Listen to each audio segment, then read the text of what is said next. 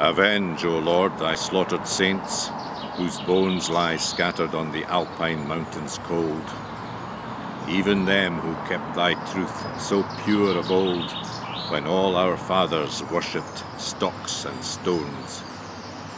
Forget not, in thy book record their groans who were thy sheep, and in their ancient fold slain by the bloody Piedmontese that rolled mother with infant down the rocks.